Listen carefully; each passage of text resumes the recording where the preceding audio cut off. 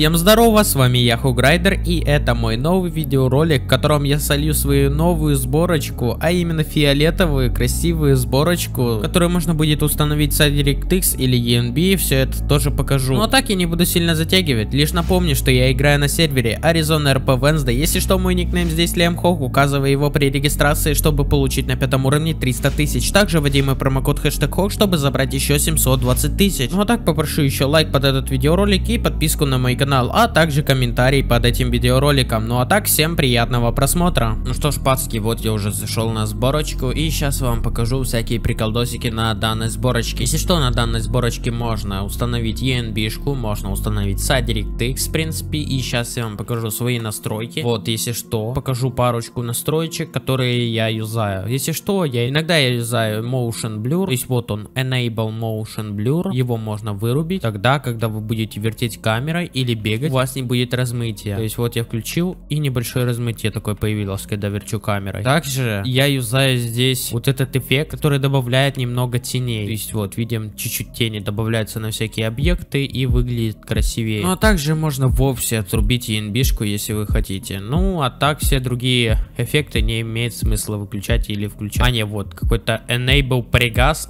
он, он добавляет солнце, если что. То есть вот лучи для солнца добавляет и выглядит как бы красивее. Вот без него, а вот с ним. Короче, тоже используйте на вкус и цвет и как бы думаю тут понятно. Также, когда мы открываем чат на D или F6, здесь есть вот такой вот сам чат на NRP, Family, также веб-чат. Короче, вот тут есть у нас шестеренка и здесь мы можем поставить себе любой шрифт, который мы установили себе как бы на ПК. То есть тот шрифт, который вы установили, именно взяли и Windows установили, там скачали на каком-то сайте, не знаю. Можно здесь сделать его поменьше, там, например, вот 10 нажать Apple, вот, и у вас как бы чат меньше стал, то есть думаю тут понятно, или наоборот больше сделать, вот такой вот большой чат сделать себе, это все здесь можно, также вот так вот вы скрываете, вот, он нормальным становится. И-то тут настройки у нас имеются, но я за них не шарю. Также здесь еще есть фонд name, то есть это сам стиль шрифта, то есть можем поставить Arial, нажать Apple, и у нас такой станет шрифт. Вот.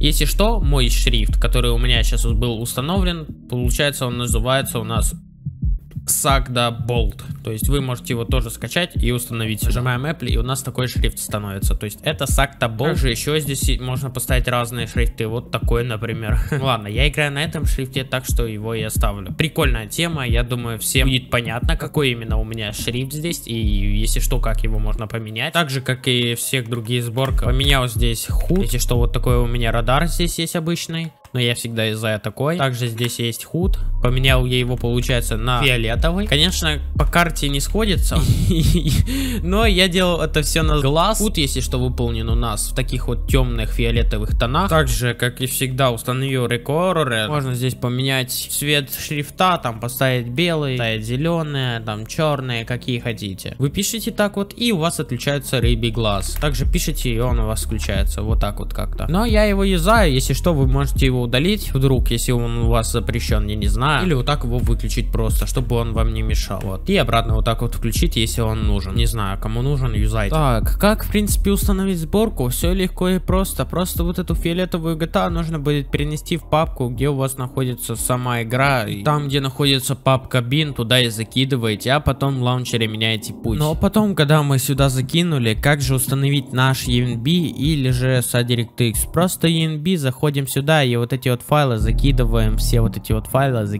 просто в папку с игрой. Также с SADirectX просто выбираем тут сам и здесь выбираем любой пресет из этих пятерек. Я вот выбираю ультра и все вот эти вот файлы просто тоже закидываю в игру и все, SADirectX установлен. Можно заходить в игру. Ну и все, в принципе, на этом все. Так что всем удачи и всем до скорых встреч.